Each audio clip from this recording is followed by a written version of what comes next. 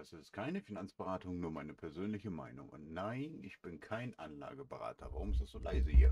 So, ähm, ich werde heute jetzt zwei Videos machen für YouTube. Eins werde ich machen äh, mit den News und eins mit euch natürlich dann zusammen, wenn wir uns ein bisschen unterhalten. So kann jeder dann einfach entscheiden auf YouTube, was ihm gefällt. Vielleicht guckt man sich beides an, vielleicht auch nur eins muss jeder für sich entscheiden. Ähm, ich habe mir immer gedacht, ich mache das jetzt erstmal ein paar Mal so, schauen wir mal, wie die Resonanz so ist. Und ähm, aber ihr müsst euch keine Sorgen machen, jetzt hier auf Twitch natürlich, dass der Stream deswegen unterbrochen wird. Der wird natürlich weiterlaufen. Wird ihr auch nur zweimal klicken und ähm, dann geht's weiter. Ne?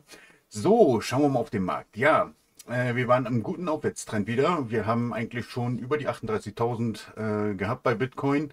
Sah eigentlich auch recht gut aus, aber es kam leider eine negative Nachricht für den, ja, für Bitcoin, also insgesamt für den ganzen Markt. Äh, nicht so verheerend natürlich, aber trotzdem immer noch negativ. Repräsentiere ich euch heute natürlich auch. Dann natürlich noch ja, ein bisschen was zur Entwicklung von dem XRP-Ledger oder eher von den Partnern und ähm, die ist grandios, grandios. Ich werde dazu natürlich auch noch ein paar Worte dazu sagen. Und dann natürlich 48 Billionen Dollar für den Markt vielleicht. Warten wir mal ab, was das betrifft. Und natürlich noch eine schlechte Nachricht. Ich zum Beispiel habe vor zwei Stunden versucht, äh, meine XRP von CoinMercy, was ich euch ja gestern gezeigt habe, äh, zu transferieren. Funktioniert zurzeit nicht. Liegt aber nicht an CoinMercy. CoinMercy arbeitet mit Binance und Binance, ja. Fangen wir mal an. Binance hat den Rückzug von XRP ausgeschaltet. Sprich, man kann im Moment bei Binance irgendwie keine XRP versenden. Somit konnte ich auf meiner Börse CoinMercy auch keine meine Coins eben halt runterholen. Ich probiere es natürlich später wieder, aber ich würde da jetzt nicht irgendwie großes Drama draus machen. Wahrscheinlich haben die ein System-Upgrade oder sonst irgendeinen Schmutz da im Hintergrund am Laufen, dass es im Moment jetzt nicht funktioniert. Wer weiß, woran es wirklich liegt. Natürlich werden wir unsere Coins noch runterkriegen. So etwas passiert immer und immer wieder auf Börsen, nicht nur bei Binance. Ähm, von daher, da wäre ich ganz entspannt erstmal. Ne? So. Die World Bank erwägt die Tokenisierung von Schuldscheinen zur Bereitstellung für Mittel für Schwellenländer über Smart Contract natürlich. In der Arbeit mit BES und SNB ist natürlich die Schweizer, na komm, zeig's mir an, die Schweizer Nationalbank. Was ich jetzt so geil finde, ist natürlich, die World Bank hat natürlich Kontakt auch zu Ripple-Technologie, zu PayPal, ne? wissen wir ja alle. Aber sie machen das mit der BIS. BIS ist natürlich der Chef der Zentralbanken, was mega geil ist und ähm, die arbeiten natürlich auch mit Ripple zusammen. BES arbeitet aber auch mit auf Ethereum-Basis, muss man auch ganz klipp und klar sagen. Einige ihrer Projekte, weil Ripple noch nicht so weit war mit ihrer Technologie, haben sie natürlich auf Ethereum-Basis erstmal angefangen. Ähm, ich kann mir nicht vorstellen, dass es natürlich auf Ethereum-Basis laufen wird später, sondern natürlich das kostengünstigste, sicherste und äh, dezentralste System, was es überhaupt gibt für das Finanzmarkt wird natürlich darüber laufen. Ich muss euch ja nicht sagen, wer es ist. Ne? Also Shiba Inu ist ganz weit vorne, wir wissen es ja. Nein, es ist natürlich Ripple-Technologie, Leute. Es ist Ripple-Technologie, was da darüber laufen wird. Nehmen wir mal einfach mal an. Aber es ist natürlich sehr heiß, ne? muss man ganz ehrlich sagen. So, das Fintech MaxiPay wird die Enterprise Payments Plattform von ACE Worldwide nutzen. ACE Worldwide ist ein geiler Provider, der natürlich mit Ripple Partner hat, äh, den XRP Ledger bei sich so gesehen auch integriert hat und das Blockchain-System auf gut Deutsch, ähm, ja, bald sehr stark verwenden wird. Nutzt, nutzen, um ISO 222 Echtzeitzahlungen und andere Zahlungsdienste in Mexiko bereitzustellen. Das RTP-System wird voraussichtlich Anfang 2024 in Betrieb gehen.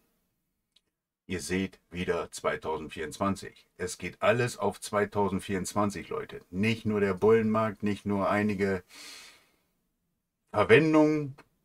Es wird auch 2024 natürlich der Start von einem mega Bullenmarkt wahrscheinlich sein.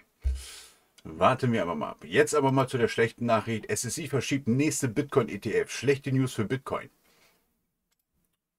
Ja, hält sich ja noch in Grenzen. Ne? Also es ist jetzt nicht so der Knaller, wo man sagen müsste, oh mein Gott, äh, wir sind voll im A. Ne?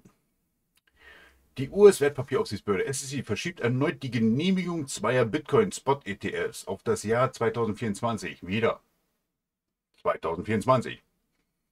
Gleichzeitig zeigt sich die Behörde jedoch zunehmend offener für ein solches börsengehandeltes Produkt. So müssen sich Hashtags und der milliardenschwere Vermögensverwalter Franklin Templeton zumindest auf Januar 2024 gedulden, bevor die SEC ihre Spot-ETFs genehmigt.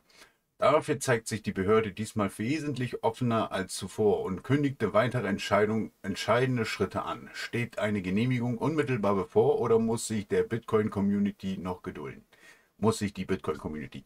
Ähm, ich muss ganz ehrlich sagen, es wird ja ganz stark vermutet, äh, angeblich sogar zu 90 Prozent habe ich gehört, dass der Bitcoin Spot ETF von BlackRock am 10. Januar startet. Natürlich muss man ganz ehrlich sagen, die SEC darf natürlich keinen bevorzugen. Das würde ja sehr merkwürdig aussehen. Würde zwar eigentlich passen zur SEC, aber wenn sie starten, starten alle gleichzeitig, um Wettbewerbswidrigkeiten natürlich aus dem Weg zu gehen. Von daher muss man jetzt einfach mal ein bisschen geduldig bleiben noch. Aber ich denke, Januar wird ein heißes Pflaster. Wann kommt der Spot-ETF für die USA? Die nächste Deadline für beide Bitcoin-Spot-ETFs ist der 1. Januar, ja 23 bestimmt nicht, also 24 soll es heißen, seht ihr auch gleich in der Liste. Äh, wie folgende Grafik zeigt. Gefolgt vom 31. März, März 24. Die finale Deadline wäre dann am 30. Mai 24. Deshalb könnten sich die Genehmigungen also in Abhängigkeit von der Befragung noch mehrere Monate hinauszögern. Das denke ich leider nicht. Aber ihr seht es erst, nee, Moment, da, 1.1.24. Von daher, aber ich denke, es werden alle hier natürlich mit BlackRock zusammen dann gleichzeitig freigegeben. Von daher, man muss einfach geduldig bleiben. Ne? Es wird auf jeden Fall kommen. Ähm, da mache ich mir gar keine Sorgen, aber es wird alles auf 24 verschoben. Vielleicht machen sie es sogar auf, wer weiß, vielleicht finden sie noch irgendwie eine Lösung, den BlackRock ETF ein bisschen hinauszuzögern, erst nach dem äh, Bitcoin-Halving. Das würde natürlich einen mega Schub natürlich geben und das würde auch hundertprozentig in meinen Augen dann den Bullenmarkt voll auslösen. So, jetzt noch eine kleine, ja, das ist ein bisschen ver verwirrend, ne? XRP bereitet sich jetzt auf ein riesiges Multibillionen-Erdbeben an der Wall Street vor. Forbes. Äh, es ist ein bisschen sehr schlecht geschrieben, der Text. Ne? Jetzt nicht äh, Grammatik oder so, sondern ganz einfach XRP. Nein, wenn, bereitet sich der Markt natürlich, wo XRP, weil er unter den Top 10 ist, natürlich auch darauf vor. Was man genau meint, ist nämlich das hier. In einem kürzlich veröffentlichten Forbes-Veröffentlichung Forbes des Forbes-Mitarbeiter Billy Benbrook heißt es, dass sich der Kryptomarkt auf ein seismisches Ereignis vorbereitet, bei dem digitale Vermögenswerte wie XRP und Bitcoin im Mittelpunkt der Auswirkungen stehen. Naja, ich würde auch noch Ethereum dazu nehmen. Ich würde einfach sagen, die Top 10 auf jeden Fall, ne? ganz ehrlich. Aber gut. Äh, ja, da spricht er nur darüber, äh, 48,3 Billionen US-Dollar Überschwemmung in XRP, Bitcoin und Ethereum und, und, und. Laut der Offenlegung wird erwartet, dass dieser Kryptoanstieg nach der Genehmigung des mit Spannung erwarteten börsengehandelten Bitcoin-Spot-ETFs erfolgen wird.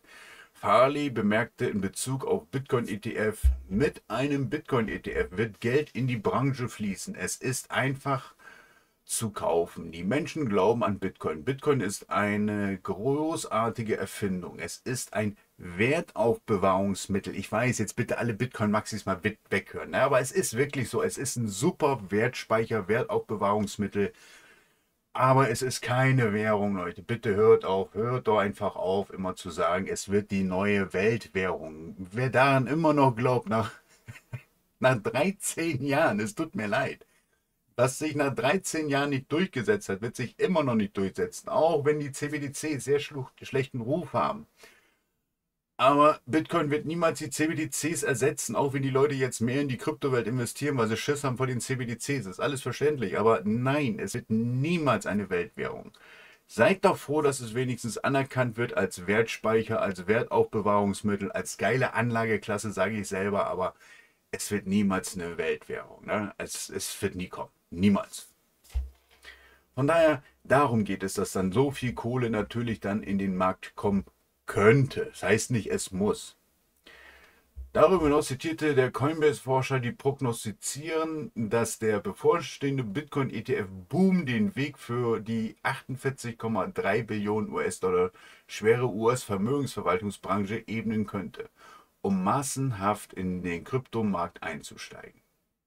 Man muss sich mal vorstellen, wenn jetzt wirklich, nehmen wir mal an, dass wirklich 48,3 Billionen Dollar in den Bitcoin-Markt fließen wird, sagen wir mal alleine nur 20 Billionen wir hatten das letzte Mal 3,84 Billionen Dollar Marktkapitalisierung beim letzten Bullenmarkt. Spitze. Und ihr wisst, was für Kurse wir da hatten. Jetzt stellt euch mal vor, es sind da alleine nur 20 Billionen, die da reinkommen. Das wird riesen, riesen Schwung bei jedem Kurs geben. Aber nichtsdestotrotz, das sind auch erst Wunschträume. Wir müssen erstmal abwarten, ob wirklich was kommt. Muss man auch ganz klipp und klar sagen. Ne? Man kann nicht von einfach jetzt sagen, oh ja, geil, da, da kommen jetzt über 40 Billionen Dollar rein. So leicht ist es leider nicht. So leicht ist es nicht. Ich möchte mich natürlich noch bei XRP des Standard Kryoronite bedanken. Er hat mir einige Berichte gezeigt und äh, ich war einfach geflasht heute von ihm. Ne? Er hat mir wirklich geiles Zeug gezeigt. Ich danke dir dafür natürlich. Ähm, und von daher so, das war's auch schon von mir. Ich mache jetzt die Aufnahme natürlich Stopp. Ich bedanke mich bei jedem, der auf YouTube das sich später anguckt und ähm, vielleicht gefällt es euch ja. Und bis dahin sage ich für euch auf Wiedersehen.